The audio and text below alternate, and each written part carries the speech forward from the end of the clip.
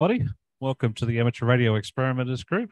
Um, we have a, a very uh, fine audience here in the hall tonight. We also have quite a, a number of members on uh, Zoom as well. So, welcome everybody. Welcome to all our visitors. I see a few in the room tonight. So, uh, glad to have you uh, come along to learn about tonight's subject. Tonight, we're going to be talking to you about DMR for amateur radio, something most of us here in AREG are, to be frank, still learning about um, because we've only had our DMR repeater alive here in Adelaide for about a month.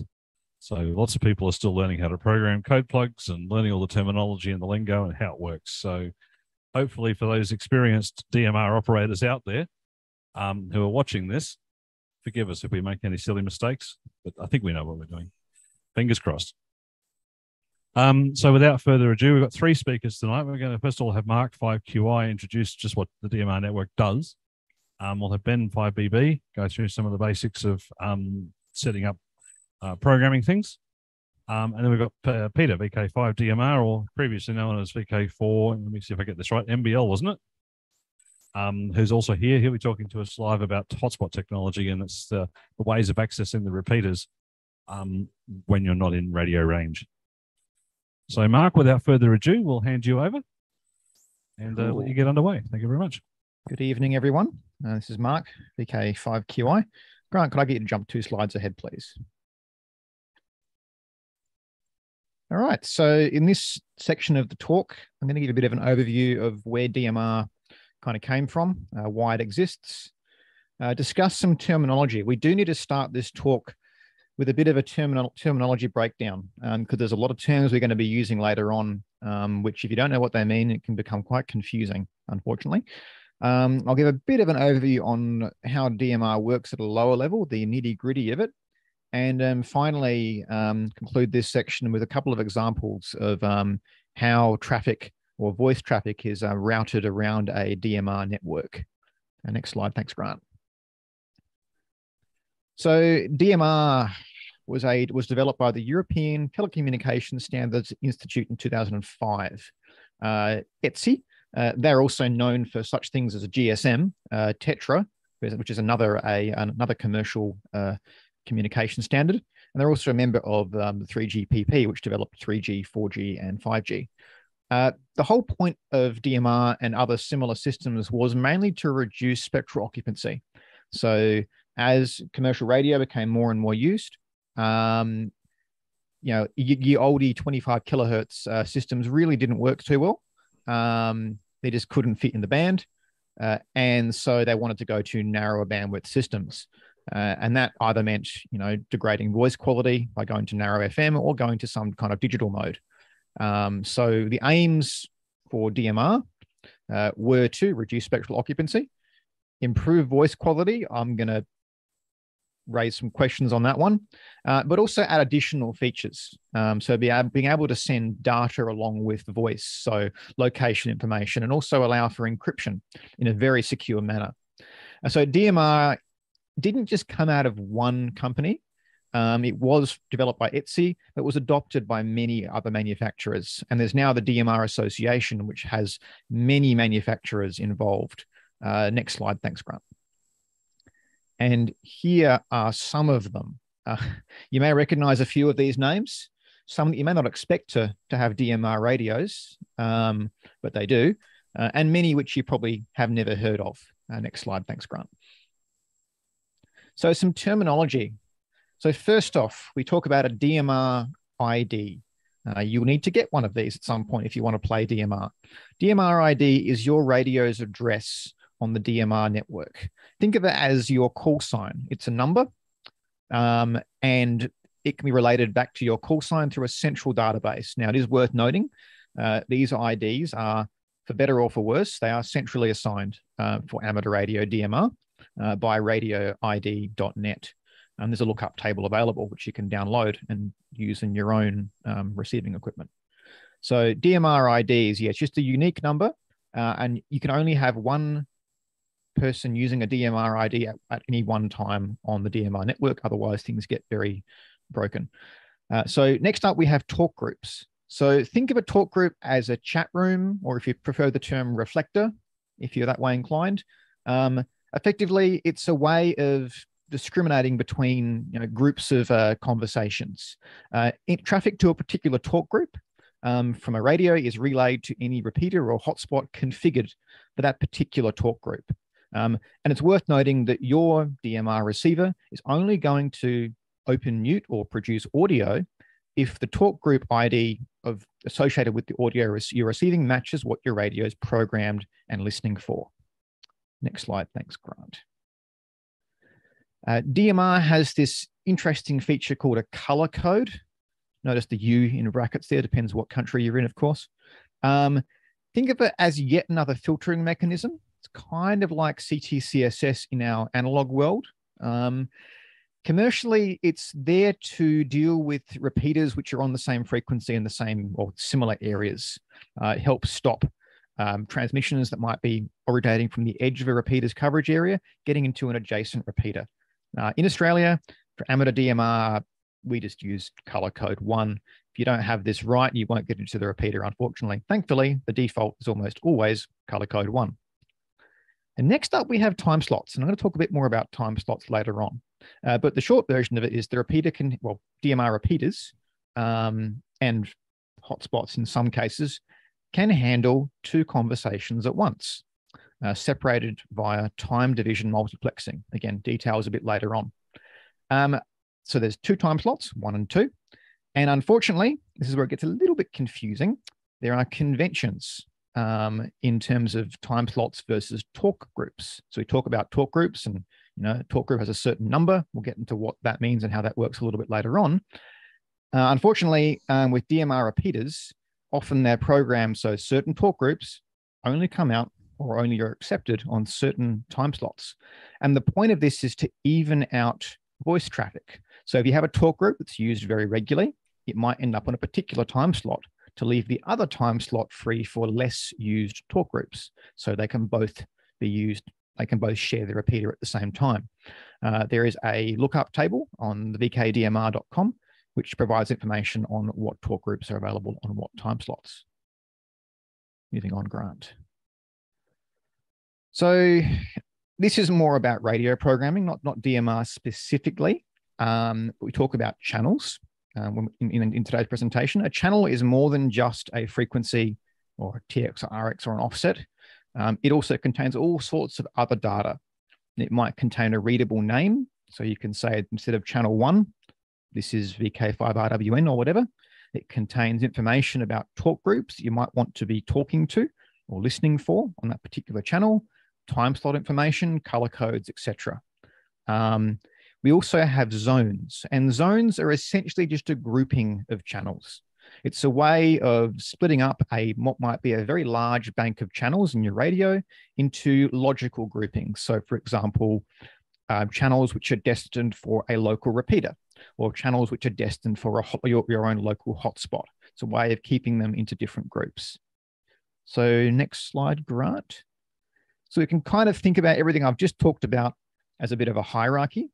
So top level, we have zones. Within those, we have a number of channels, and each channel contains information upon radio frequencies that you're using, uh, color codes, time slots, and then the talk group. Um, and on the case of my radio, my MD380, I can see the talk group information and the zone, which I've just called hotspot, and also a channel number in this case as well. Okay, moving on, Grant. So the big selling point of DMR is, is all of our repeaters and our hotspots are linked together. Uh, these are linked via a protocol called Internet Protocol Site Connect or IPSC.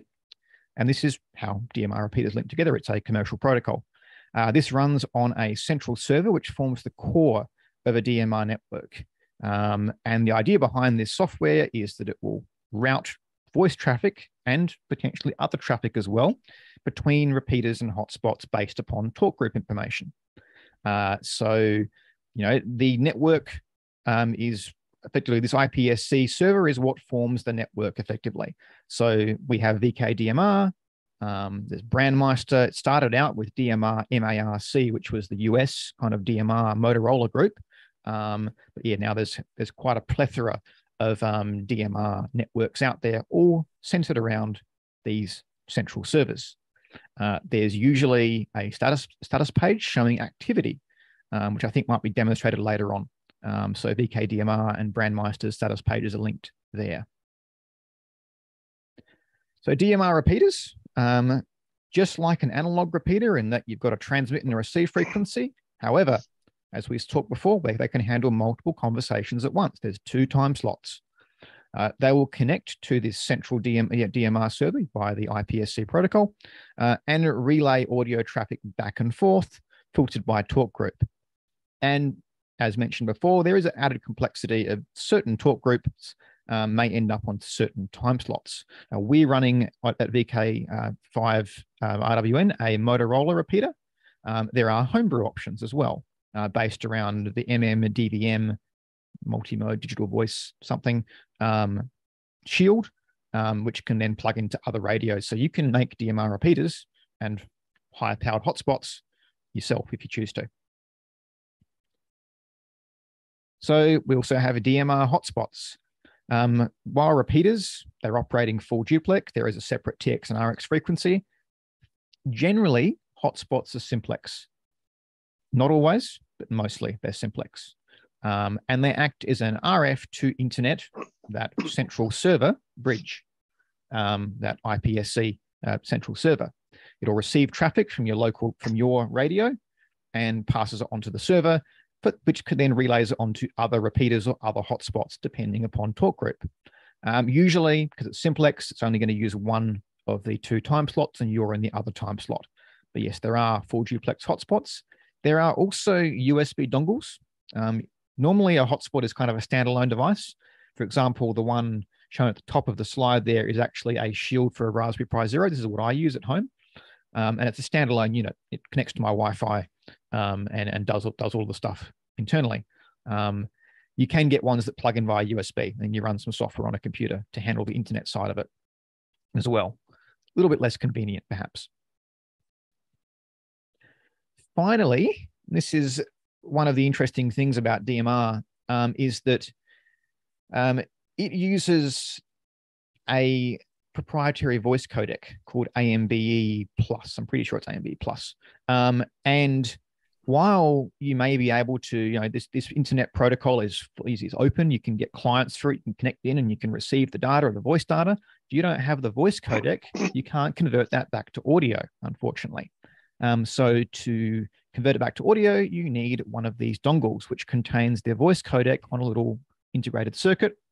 Um, and that communicates with your computer and then does the conversion between coded speech and legible audio, audible audio, whatever. Um, and so there again, there's software available. BlueDV is one example where you can connect to a DMR network using a computer and a headset. So no RF involved if you want to if you want to do that kind of thing as well.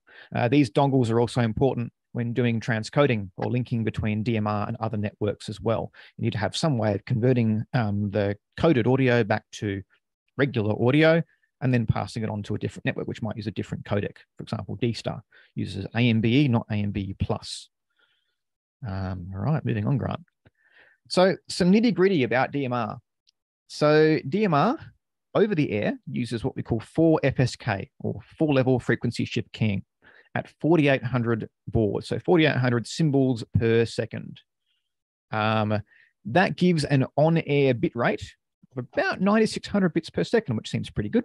Um, but after overheads and forward error correction, that ends up being there about 2700 bits per second, um, which is what which is what we send over the air.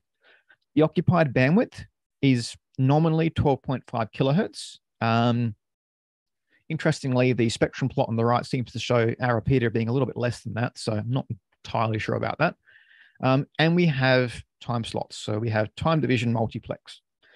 Each time slot is 27 and a half milliseconds long, and there's a small gap in between each of them.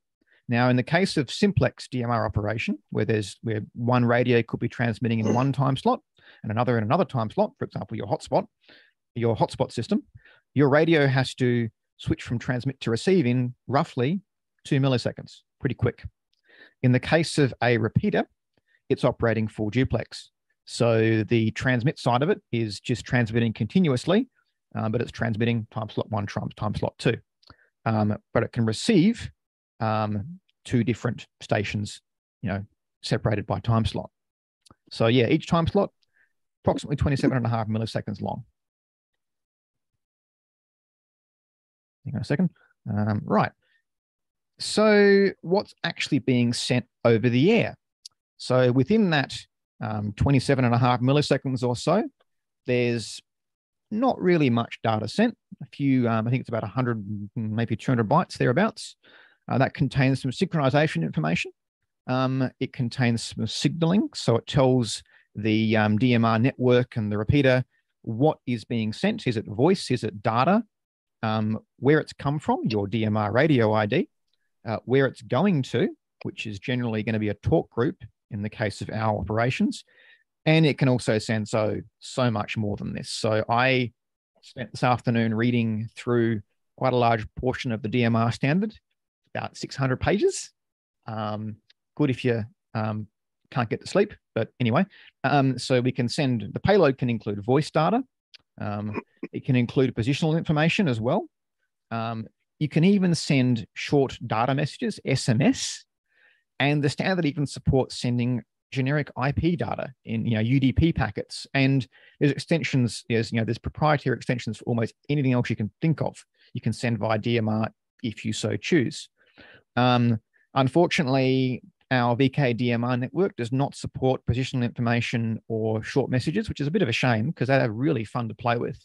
Um, other networks like Brandmeister do support these. So if you want to play with those kind of things, you'll have to use a hotspot and connect to the Brandmeister network. So the DMR standard also talks about tiers.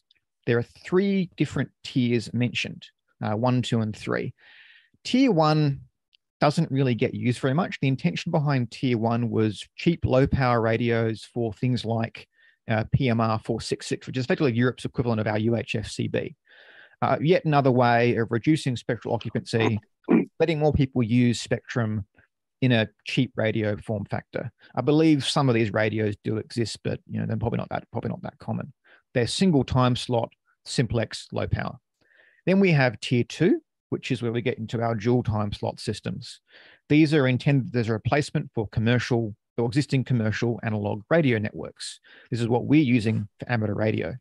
Tier three, we get trunked systems. So this is think you know SAGRN, uh, P25 networks where you have a control channel and then multiple channels for users. So you transmit, the control channel tells you what channel you're allocated to, and it you know, it distributes users amongst multiple channels. We don't use any of that in the amateur radio world. Let's have a look at a DMR network in action. Here's a bit of a diagram uh, showing um, a very, very simplified DMR network. We have our central server in the center there.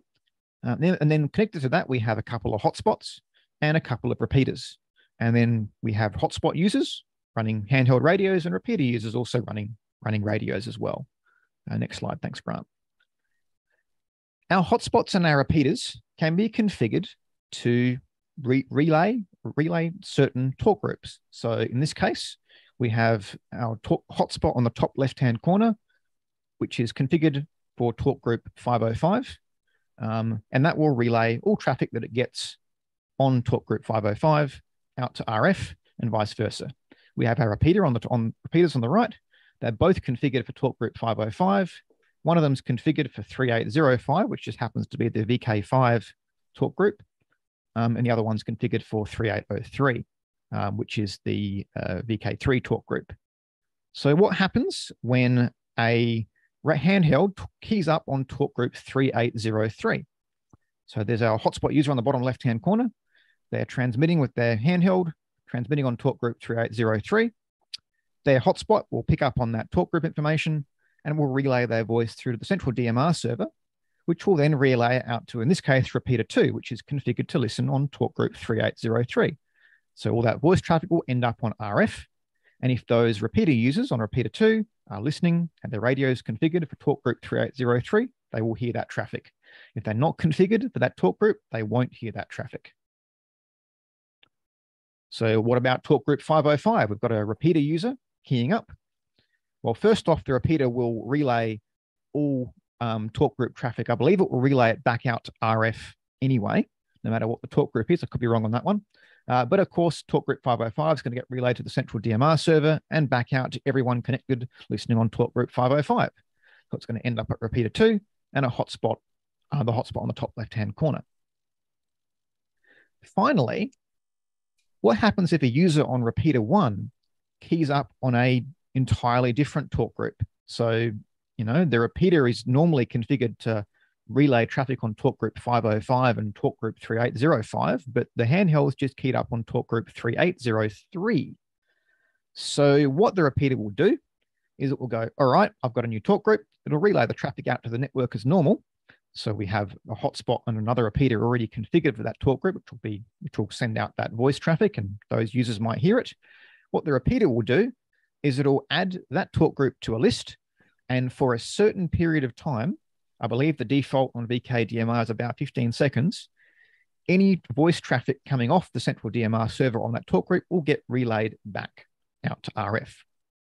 If there's no traffic for a certain period of time, then that talk group will get dropped from the list and no more traffic on that talk group will get relayed through. We call this a dynamic talk group as opposed to a static talk group. In the case of VKDMR, um, normally all repeaters will have a certain set of static talk groups. 505 is pretty much all on all VKDMR repeaters, and also local state talk groups such as 3805 for VK5, 3803 for VK3. These are static talk groups, they're always present. Alrighty, I'll hand over to Ben to talk about selecting and programming DMR radios. Hey, thank you, Mark. Um, yeah, next slide, please, uh, Grant. There's plenty of radios out there. Um, so what's on the marketplace and what do you want? Well, if you're looking at handhelds, there's a list here. Um, it's a list I've found. Uh, some people find uh, others. You can go to the usual online sites and uh, type in DMR portables and you get a range of them. But the Anytone, uh, BTECH, TYT, uh, the Retevis, and, some of these things, when you look at them, you start to think, well, where do they come from? Uh, they all look like they come out the same factory. They probably do. And they got badge engineering on them. Um, Radioddity, and the Baofengs. Um, now, the, the, list up there are those that are, I know are all tier two, which is what we need to use. Um, so just be careful that um, when you're doing some research, that you make sure they are tier two and not tier one. What some of the clues to it might be that uh, when they uh, in their advertising is that um, they'll do the two time slots. There's a few Baofengs and a couple of others out there that won't do tier two at all. And it's important that you don't use tier one radios on the DMR network because it wipes out both um, time slots. Next slide. Thanks, Grant. If you're a bit more upmarket and you're looking at uh, mobiles, um, there are a range of mobiles around. Uh, the Anytone, the Anytone's top of the range, I think. And it's just my playing, it's my thoughts uh, things. TYT are very good, and uh, the clones of the TYT, the Retevis Um, the Ailunce, and I've heard good reports about the Ailunce, and one I've shown in there, the uh, MD520T, is a tri-band unit. So you probably don't want to import that one because you got 220 megs on it, which we don't use here. Of course, there's uh, the commercial brands too. So a lot of people have been to the government sales so you can get uh, Motorola radios. Uh, it's Kenwood, ICOM. Uh, one that was very common in the early days of um, uh, ham DMR was the Hytera uh, radios as well. Um, but Hytera and Motorola had a big fallout along the way. But there's others there, and um, just be careful if you decide to go for them. Is one of the things you need to make sure you get is the uh, CPS or the uh, code plug programming software. Um, sometimes it can be very, very hard to get or can be expensive. Next slide, Mark. Thanks. Uh, Grant, sorry. Okay. You're looking at programming a radio. You need to organize yourself. Um, you're going to set up your computer with your CPS, etc. Set up the, some folders to download um, your relevant files, copies of code plugs. Um, there are things like as CSV files. Uh, if you want to import stuff into your code plug, put them somewhere where you can find them. Now you'll need your own DMR ID. I think this has been well and truly hammered, but some people may not be aware. It's basically if you can't start programming until you got it. So you do, the, do yourself a favor, get yourself a copy, uh, a DMR ID, log in uh, to radioid.net and uh, set up an account. Um, it's free to do the initial thing and apply for your DMR ID. And this will take uh, one to three days. Um, mine turned around in, in, in one day, so it's, it's not too bad. But um, even if you don't, if you're into some of the other um, digital voice radios like um, uh, D Star and uh, Yaesu C4FM, um, it's still useful to have a DMR ID so that um, if you go onto some of the reflectors and uh, talk groups, um, it, it goes across the, the whole network sort of thing. Next slide, Grant. Thank you. Um, you'll need the code plug software. Um, the Anytone one I got from a non-brand site. Um, there's a couple other sites out there. Uh, some of the major manufacturers um, or the major retailers like um, DX Engineering, uh, Powerwerx, who do the uh, um, range of products as well. They've got lists of um, uh, where you can download a CPS for your particular radio, if, especially if it's one that they sell. So sometimes the retailer can be a good link, um, and it's relatively simple. So download your CPS and install it on the computer that you plan to do your programming from. Um, there is some open source cross-platform programming, uh, QDMR. Um, most people generally use the one from the uh, that matches the brand of radio, and I was playing with um, uh, a TYT uh, code plug, uh, and uh, I've been given three. Well, I got three different code plug software from different suppliers that'll all read the same TYT code plug. I've not played with the uh, uh, cross-platform stuff, so um, and I believe from Mark uh, QI advised that it's available for Linux. So those that want to play, there's another option for you. Next slide, please, Grant. Okay, now code plug. This is a term that gets knocked around a bit. Um, people talk about it, and they generally talk about it for um, um, the digital voice radios or the digital radios. Uh, I'm not sure where the term code plug come from. It sounds like it might be one of those Motorola things, a bit like PL or private line, which is Motorola's term for CTCSS. But the code plug is the personality file. It carries all the information that you need uh, within the radio to set it up and customize it to do your job. So it carries a lot of information. Um, it even carries the um, software and firmware versions for that radio. So one of the issues you may have when you're trying to uh, program your radio, um, you've got to make sure that you've got the right information for like the firmware version. So the best thing to do is when you get your code plug software up and running is to read your radio, download the initial specs on the radio so that you've got a copy of the, those parameters.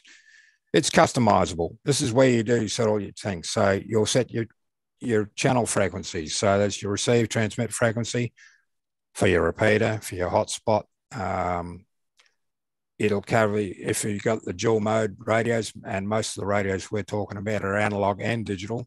So you can set your mode. Uh, and along with the mode, you can also set the bandwidth. The bandwidth will be limited to 12.5 for DMR, but you can open it out to 20, 25 kilohertz for uh, analog. And you need to do that. Otherwise, your FM audio will be pretty thin. You set your CT CSS for analog uh, where needed. And on the um, DMR, you set the color code and the time slots. Now, the time slots have got to match the talk groups. So you need to look at your talk groups to work out which time slot you're going to use on that channel. So plan your, uh, your channels. Next group. Uh, next slide, please, Grant. Design your channel plan. It's important. Sit down and do a little bit of legwork. Get a piece of paper out, scribble all over it. You need to work out what you want. So um, your analog channels, your talk groups, you need to put it all down because if it's not in your code plug, generally you'll not able to talk to it. So if you get wind of there's another talk group out there that um, you'd like to get into because it's uh, it's put up by a group that's got a subject topic that's of interest to you. If it's not in your radio, it'll be difficult to put it in through the front panel. There are a couple of brands of radios that you can do it through the front panel, add a contact. I, believe the Anytone does. I've seen it in mine, but uh, most of the others you can't cannot add um, additional contacts through the front panel. So sit down, work out what you need your radio to cover. Um, if it's dual mode, so analog and digital, take advantage of it. Put your analog channels in and also um, your simplex and put your repeaters. In your DMR, set it up for uh, the local DMR repeater initially. Uh, and perhaps if you're running a hotspot because you're out of range of the repeater normally, put your hotspot frequencies in there.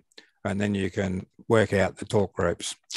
So in the DMR talk groups, think about it. Have a look at the list, see where they connect to, what they are, what you need now, and what you might want later, because you can add them to your talk group list not necessarily use them, but you have them there. So next time you want a program, you don't have to keep working out where they are. Next slide, please, Grant. Okay, uh, word of caution here.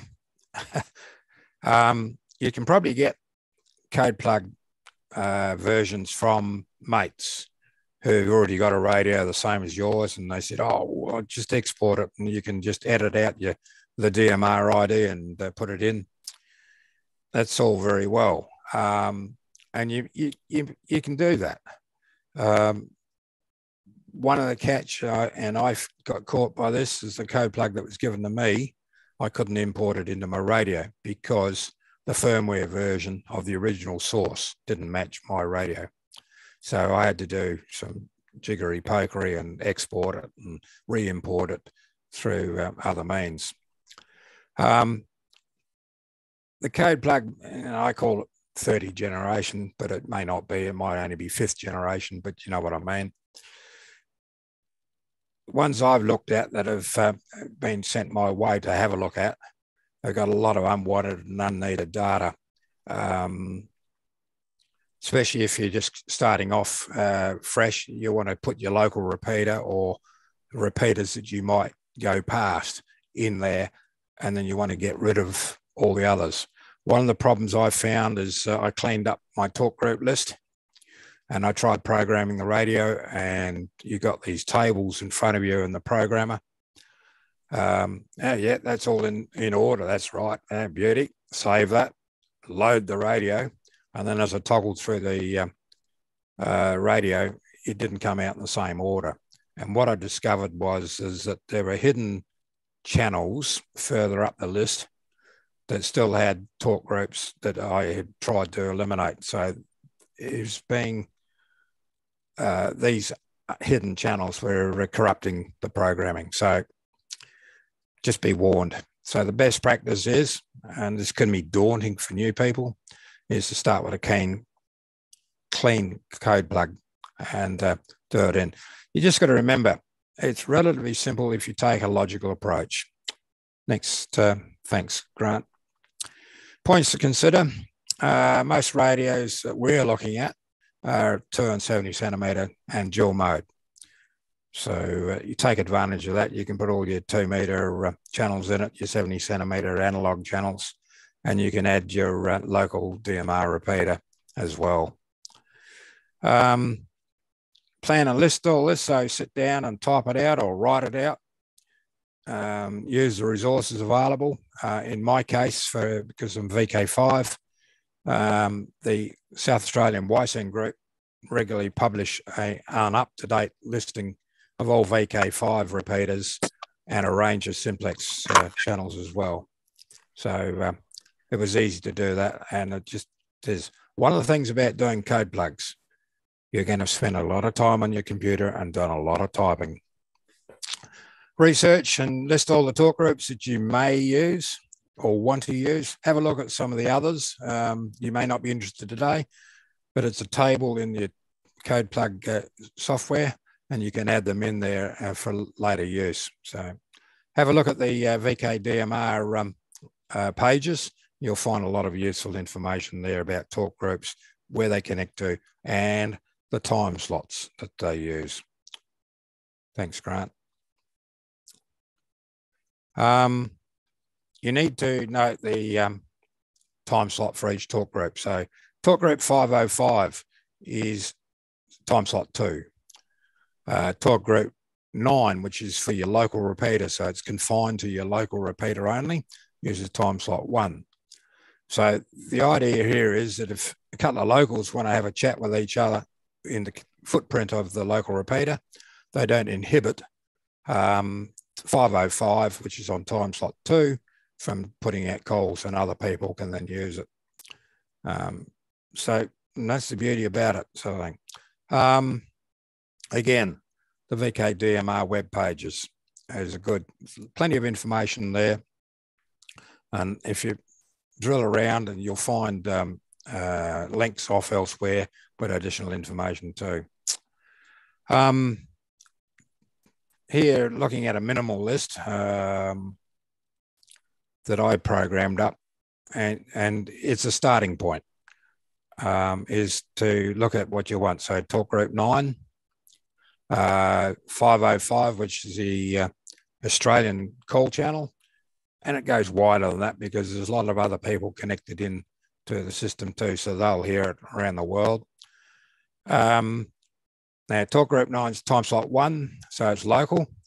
Uh, 505 is time slot two. So time slot two generally here in Australia, generally, it's not exclusively, is provides linking out to all the other systems. The exception here is actually um, talk group five, which is a net channel uh, commonly used for VK nets. That's a time slot one. So while the nets are going, they don't inhibit the use of 505 or uh, other talk groups. Add your state talk groups in.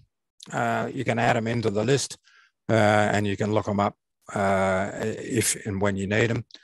If uh, it's not on, say, VK5, uh, RWN, for example, doesn't have um, the Western Australian talk group 3806. It's easy. You dial up 3806 uh, on your radio, you chunk the system, hold the uh, PTT for a couple of seconds to allow all the handshaking and so on, and you'll add it to the um, talk groups available through the thing, and you'll also wake up Western Australia and anybody else listening to it. Uh, and as I understand, um, when you add a, a dynamic talk group to the repeater, it stays there for 15 minutes. And if you watch the dashboard, you'll see it timing out or timing down, counting down. So general chat talk groups, 3800, uh, 3809. Uh, 3810 is actually a WICEN channel, but it's available for uh, general use. And Parrot, which I can't make work here locally, is um, is triple nine zero on um, time slot two. Uh, and the idea of that is you can make a recording or you can put out your call sign and the repeater will parrot it back to you so you can hear what your own audio levels are. So that's the function of it. Uh, it's relatively new. There's information on VKDMR about it, but I've not been able to make it work. I've seen activity, but not come back. It's something to be looked at. Next slide, please, Grant. Ah, it's over to Peter. Okay, so thank you very much, Ben. Just give us a minute while we reconfigure to send video from here. Um, you want to switch the vision switcher? And I will do that. So I'd like to introduce you now, Peter, 5DMR. who will uh, talk to us a little bit more about operating and hotspots in general.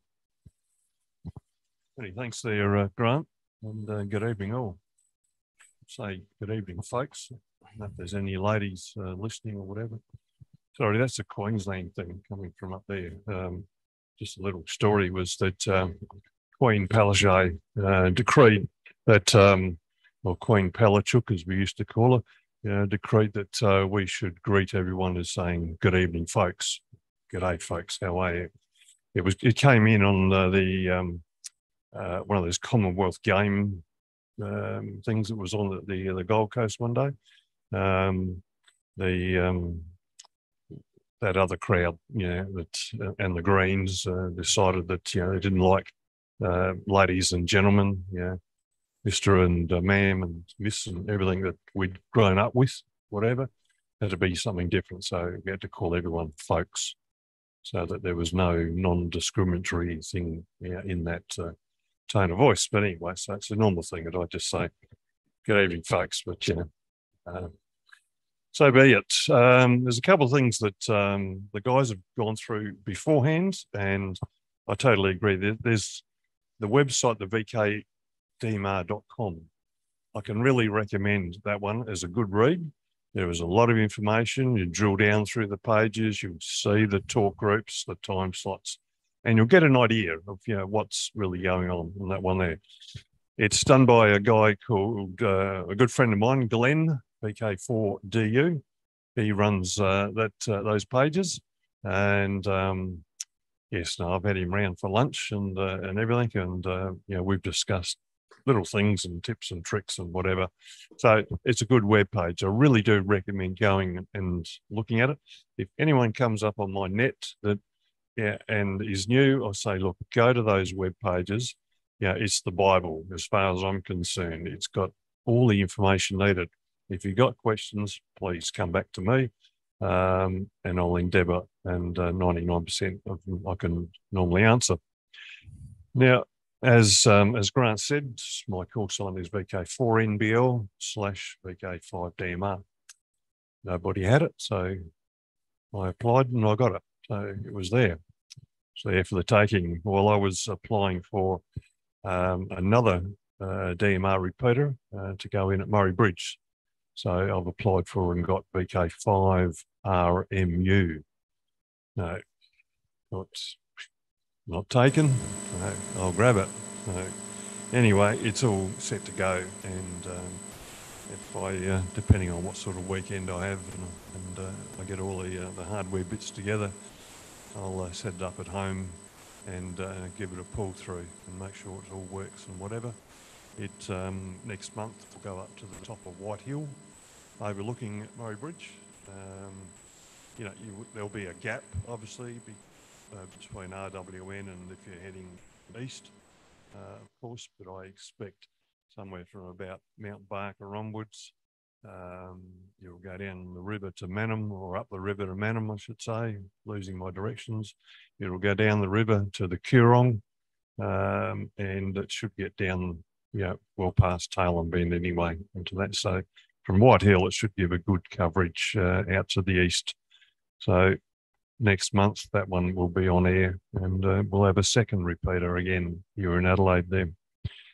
So a lot of things that I was going to talk about, but Grant said I only had 10 minutes and said, that's it. So I thought, okay. Yeah, it's getting close. I've got way less than there. So I'll nip through a few things onto that. Um, hotspots. So I brought several along. Not everything that I have, but I have a few sitting home that are not being used, and I'll put them into other other uses. So going across from um, right to left, left to right, whatever, going that direction. So um, I have a, uh, a travel spot, uh, this one here, uh, I use on D-Star and use an ID 51 on that one. Um, I have a, um, a ShackSpot 2 Plus, which I use um, an APX 6000 Motorola on P25. Uh, I've got a dual hotspot, which is the ShackSpot Pro 2 uh, duplex Uh, I run a um, Retevis RT3S through that one there. So if you see me come up as VK4NBL, I'm using that combination. Um, if you see me come up as VK5DMR, I'm using the new Anytone and a single hotspot down the far end, which is a, a DuraSpot 2. And right at the very end, um, I haven't been doing much. This is the Yaesu confusion side of things. So I've got an FT2D and I've got an open spot 2.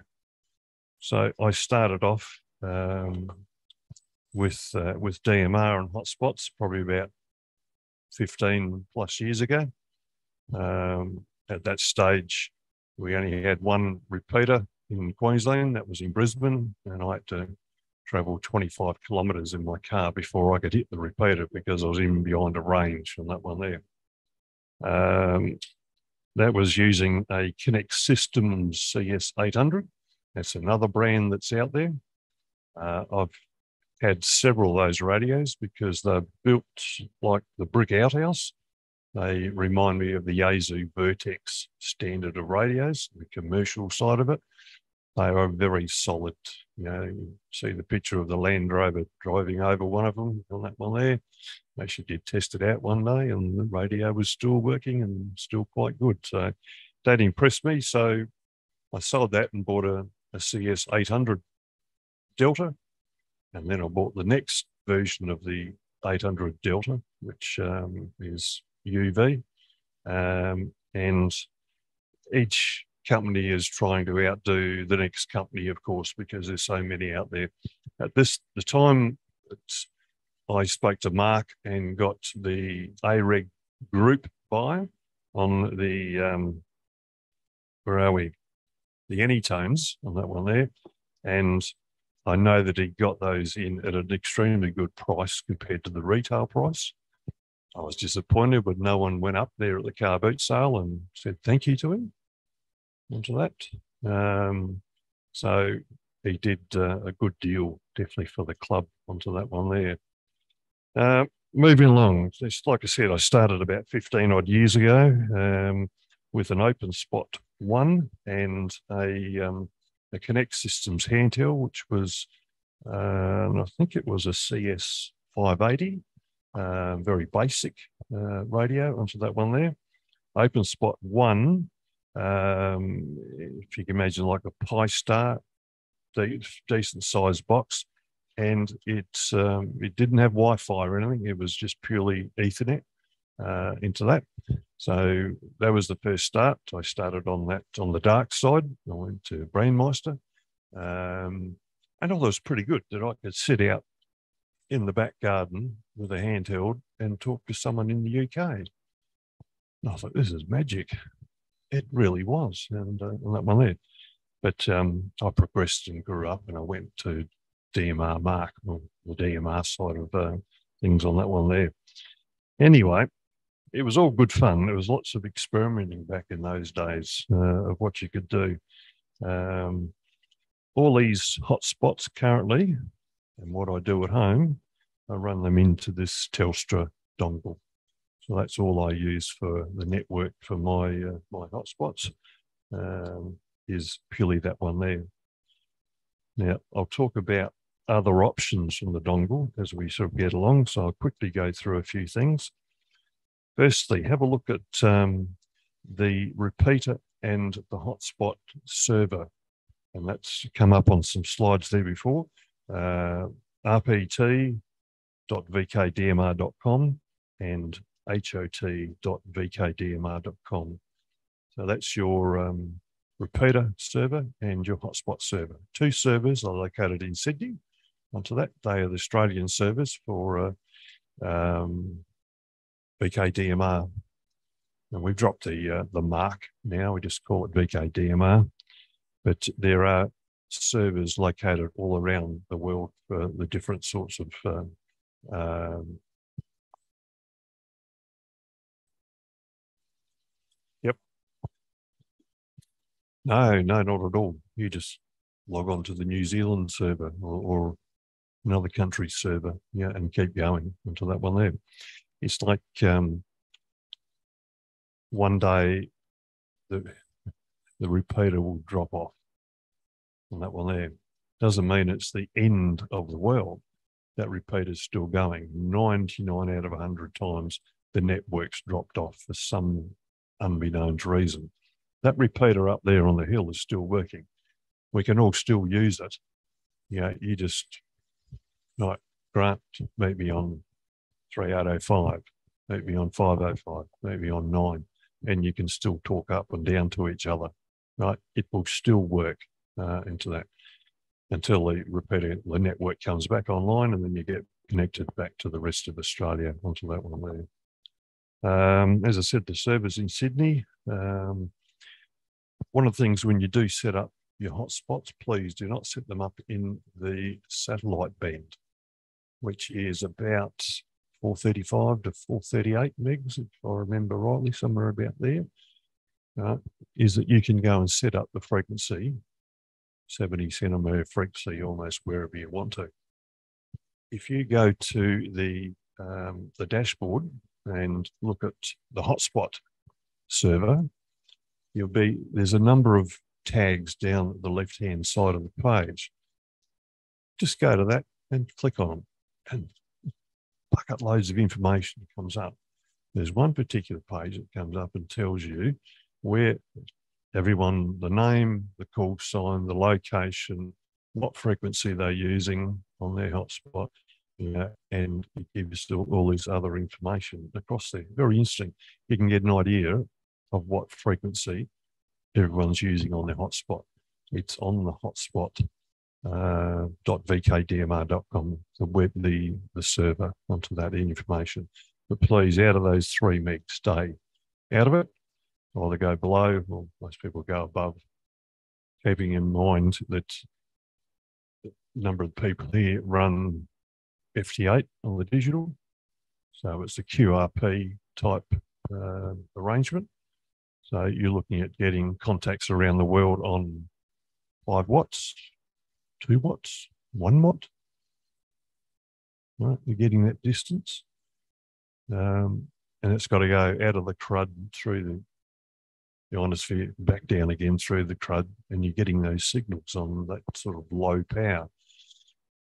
These things here, put them down to the minimum amount of power, and you always run your radios on low power. Uh, it's all you need into that one. And you're amazed at what sort of distance you can get. On the lowest power rating on your Pi-Star, um, be it 10 milliwatts or somewhere even lower, and your radio's on low, which is probably one watt or something, maybe half a watt, you can still get around the house and outside you know, where you want to go. And that's all you want to do into that one. If you run the high power uh, onto that, and it's a signal, and it's basically going out, but it's also going straight up. And that's where it can start to interfere with the satellites on that because the, you know, they are trying to get their small signal, you know, back down to everyone that's trying to operate through the satellites. And I did that heck of a lot up in Queensland. In fact, another story is one of my favourite ones is we used to uh, run slow scan TV through the satellites. And so I had a page, a picture made up um, because I was in Queensland and a lot of people to talk to was in New South Wales, down through the satellites.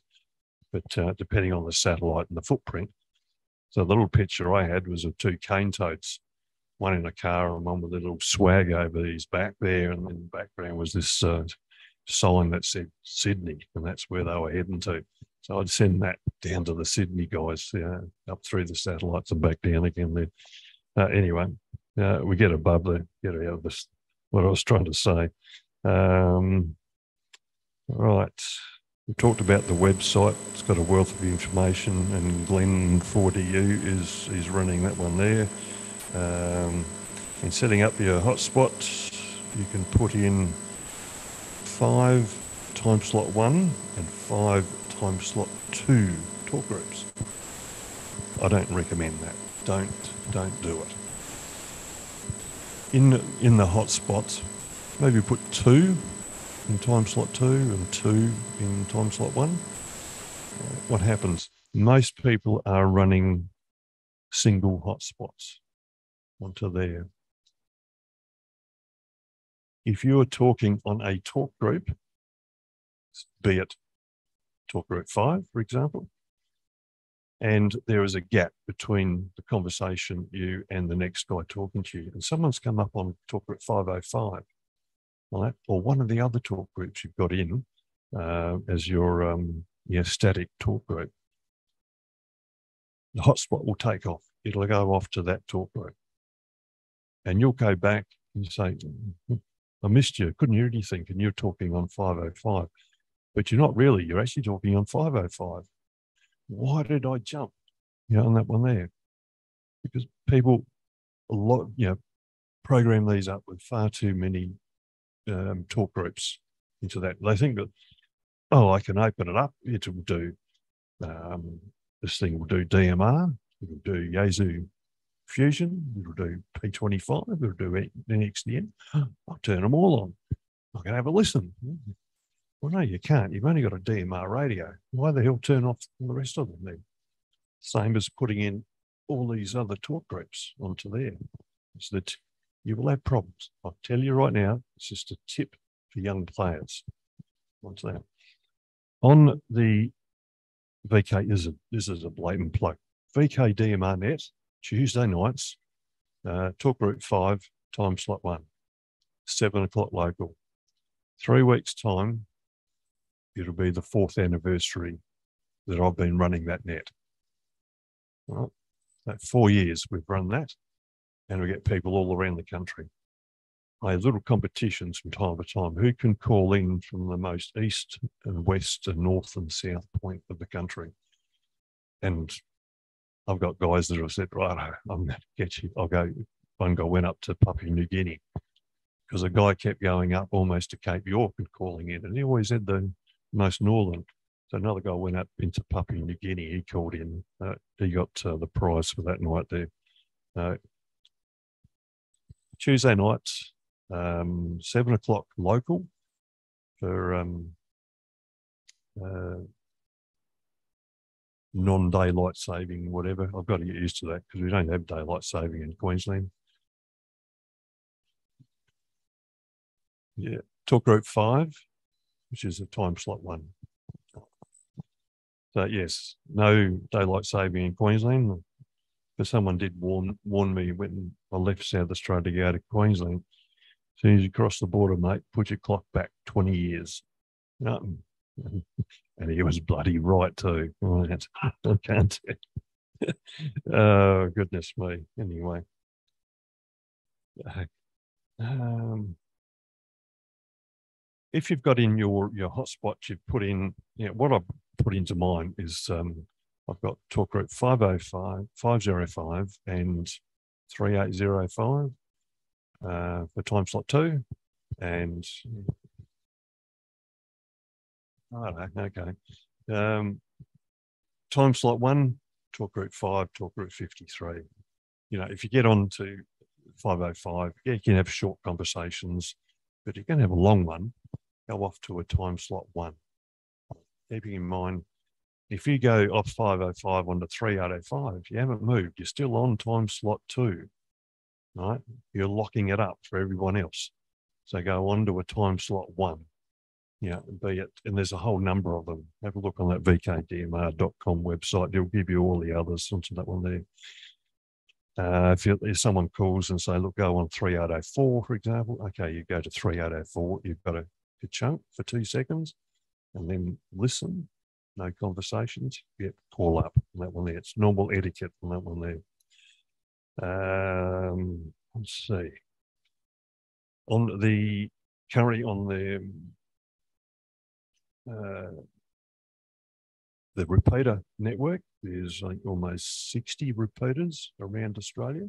It's the biggest amateur digital network in the country. And, you know, I think we were about 57 with our repeater that we got up there, uh, which is great. There's also 13 channels that are cross linked, well, there's about 10 channels cross linked to Brandmeister. Which is against my better judgment, that's only me personally. There's also about 13 channels cross-linked to Yaesu Fusion. So the number of guys come onto the VKDMR net that have got Yaesu Fusion radios. So there is one that comes into Talk Group 5. So that's also possible as well. Always good fun to try and do the yeah, crossing on that one there. So we talked about the uh, uh, the net, um, when to use um, hotspots. We'll make this the last one they Grant, anyway. There's a number of other things, we use that one there. Use a hotspot when you're out of repeater range. So I've said that um, um, I can jump on uh, the VK DMR net or um, the network, and I'm running through a Telstra dongle. Now that could also be um, a uh, any sort of dongle. It could also be um, your mobile phone. So you can make your mobile phone. Most of the mobile phones these days you can turn into hotspots. So you can run through that one there. So you can take away your phone, your radio, your hotspot, and away you go. Anywhere in the country that you've got phone range, whatever carrier, doesn't matter, you're in network range for VKDMR into there. So mobile phone, radio, your hotspot, take away holidays, you can sneak into the bottom of the luggage that the missus doesn't know, and away you go. You can have some fun on that one there. Okay, there's a lot of other information. Like I said, it's I don't profess to be an expert because we know what an expert is, don't we? Right. So I've played around for about 15 odd years. Um, I've been up in um, Queensland about that time. I've come back. And as most people know, my youngest son has Downs, and I've found that South Australia is the best state for kiddies with disability. So I've moved back to here mainly because of him, and very happy that I've joined AREG. Uh, out of all the clubs I've been through, it's the most progressive club, definitely under that one there. Anyway, got any questions, please catch me up at any time on that one there. All right, thanks, Grant. Okay, thank you, Peter. Now, I know there's a number of people here who no doubt have lots of questions since we've only had our DMR for a short time. We'll just take a few questions now. Um, just for the AREG members who uh, are not haven't already caught up with the news, we are planning on running a programming and, and DMR deep dive night, um, probably in the next two to four weeks. So for the members, um, that'll be something that we'll, we'll announce. And uh, if you want to come along and learn a lot more in depth, um, it's a perfect opportunity. But right now, do we have any uh, relatively short questions that hopefully we can get answered from the panel of Ben, Mark, or uh, Peter? Ian, over to you. Hang on. I got quite a few, but I'll I'll ask the one that's at the top of my mind. Um, I'm using my radio and I'm working through the repeater. I don't have a hotspot. I've just bought one of these things. I've had it for a couple of weeks now, trying to get my head around all the code plugs and things like that.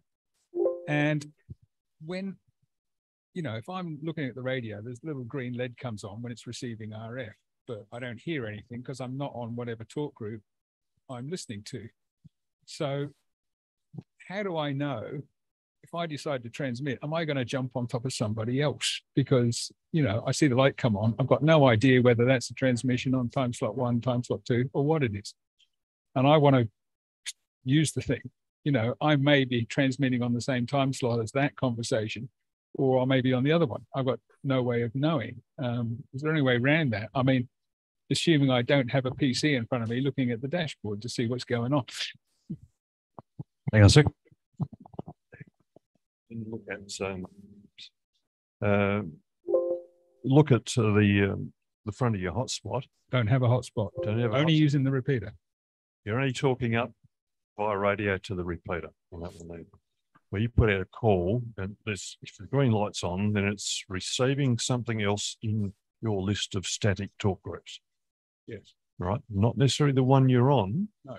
But you just go to your other static talk groups and you'll find. So I'd have to sort of basically step through the talk groups and see. Of course, by the time I get to the one that had the green light on, they might have stopped by the time I get.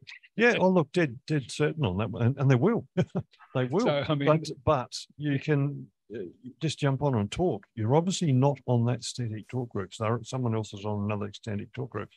Now, the only time it may I, I'm, Won't just go con- I'm just through. concernned that the one that's being used is on the same same time slot Yep. that I want to use. Yep.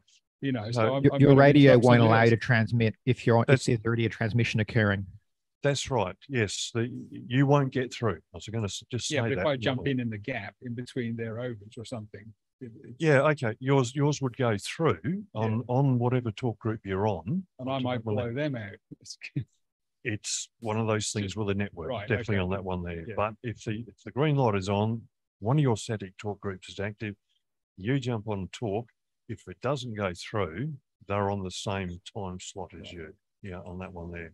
So it's yeah, I try and bring the point that um, um, if you're on 505 and you go to 3805, it doesn't make any difference. You're still, someone else on you know, 505 can't talk because you're still occupying time slot two. That's why I say that QSY head off to a time slot one, um, you know, on that one there. So as long as I could put in my radio 505 and 3805, talk group five, talk group 53 yeah, one of the other ones is not going to be active. You know, just Yeah. you know, go over there, um, yeah, and listen. No conversations. Yep, jump. on. It's the same mean- as getting on an analog. You know, uh, yeah, it's, it's, I, was, I was looking at this dashboard today, and there was a couple of VK4s popping in now on 3804. Yep. So I thought, oh, I wonder what they're talking about. So I just Yeah, ka-chunk ka-chunk it and listen in. Of course, I'm and I'm listening into them, but Yeah. it's that's obviously tied up 505 then as well because that's in that in that state. in that- yes. or here, yes, Yep. yeah. To be honest, Brilliant. don't worry about it. There's not enough traffic to, to really be an issue, I think. Yeah. All right. Uh, we have another question here from uh, Paul. just to expand on that gentleman was saying, in the radio, if it comes up with a green light, in analog systems that have a lot to do with in commercial systems, the green light would come up to show RF channel activity. Mhm. But uh, they also were enabled with what we call the transmit inhibit, channel busy transmit inhibit. Is that the same sort of function? It's, it's, it definitely sounds like the same thing there, Paul. No worries that uh, you won't be able to, to transmit on that one there because the time slot's already occupied on a, on another static talk group. But you don't know whether it's a time slot two or time slot one. It's only one of those static talk groups in your radio. You might talk on, you know, call on 505 and yep, someone's going to answer you. So then you'll know that other one is one of your static time slot one ones into that one there. Okay, thank you. We've got a question here from Chris. Okay, this, this one is a bit of a technical one. So when I press the button on my Anytone, um, it feels like it handshakes between it and the server for um, I don't know, quarter of a second or so, and then essentially it gives me the green light to talk. I'm not sure whether this is you or Mark. Um, what's happening in that process? Yeah, Yes, mate. you, you are correct in that one there, is there's a handshake going on between your radio and the repeater, and then it's indicating back to you. It happens in that sort of time limit onto that one there, is that you might see a, a green light and then a red light onto that one there. The green light is the handshake. Yep, it's uh, open, free, talk to me. The red light is you transmitting uh, onto that one there. Yep. Okay, do we have any other questions? Yes, Kim. Um, I've seen a bunch of um, open spot twos and threes pop up recently. Um, are they worth picking up? Um, like of the of the access, the, sorry, the, the hotspots you have there. Yep. Um, what's actually what available in Australia? Because a lot of this stuff seems to ship from overseas. Okay, all right. One point I missed because I got that you know, sig- signal on that one there. Yep, that that is an open spot two. They have open spot threes, and I think they have an open spot four now. Yep. Yeah, where's it going in? But anyway, um, these other hotspots here, um, I deal with one particular person. Now, if you buy something um, from a company um, and you trust what the salesman telling you, and then you trust the product, you then go back to buy more. I've dealt with a guy in Queensland, another Glenn, VK4 NGA.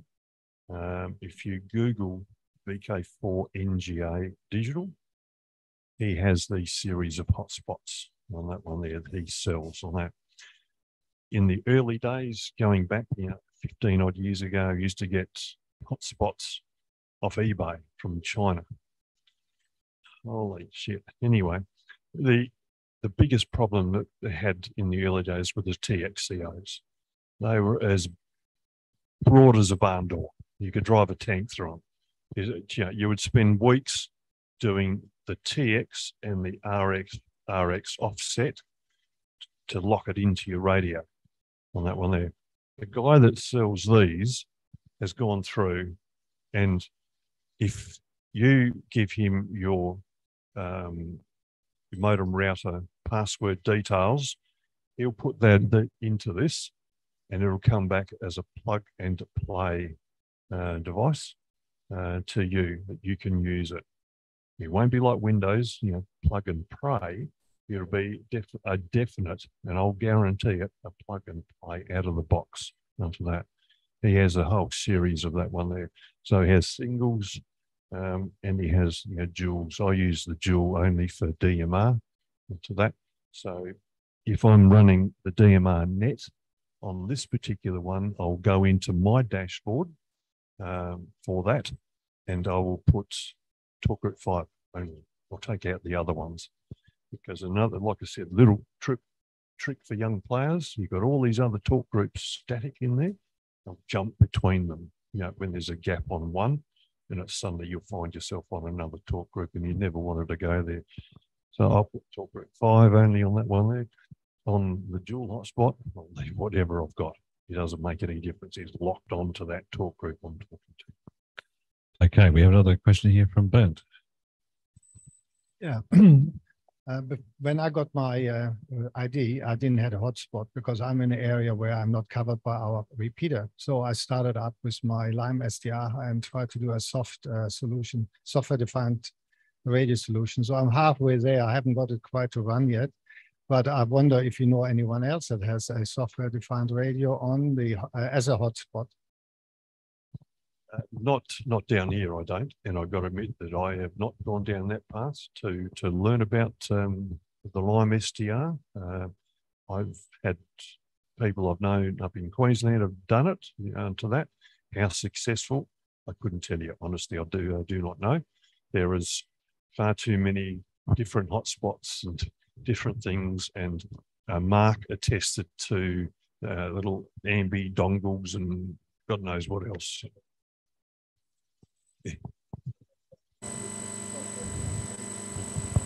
Yep. Yeah. Oh, look, I'm sorry I can't help you on that one. Okay, um, we're very short of time now. I'm just going to open the questions. Is there anybody on Zoom um, from the members who has a question they'd also like to ask?